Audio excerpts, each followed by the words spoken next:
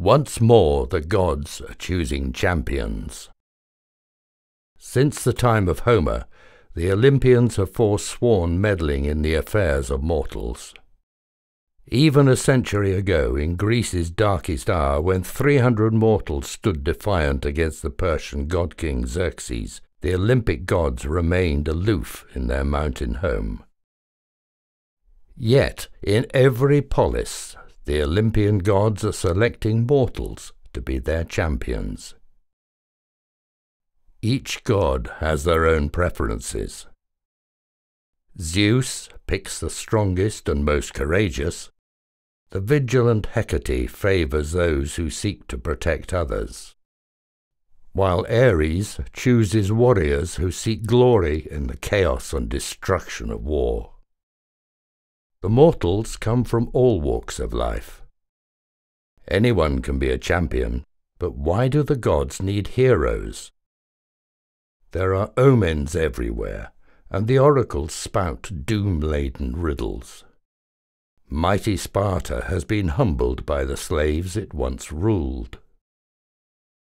And in democratic Athens, thinkers question the very nature of the universe. Beyond its borders, other forces threaten Greece.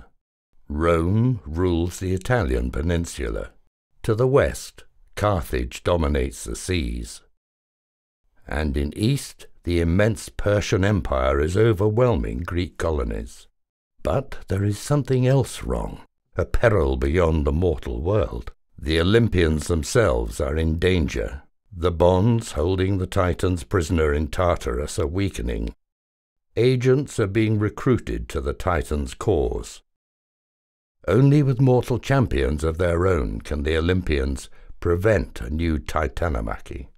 But Olympian politics is a maze of petty rivalries and ancient grudges, any of which may spell disaster for an unwary hero. The gods are short-tempered and narcissistic, vicious and uncaring, even towards their own champions. The mortal concerns of the polis are no less dangerous than the legendary monsters who walk the world.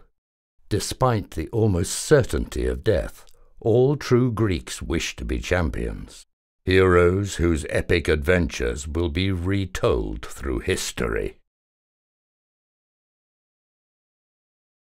Age of Legends by James Foster and Mark Foster, a complete setting for the 6D6 RPG.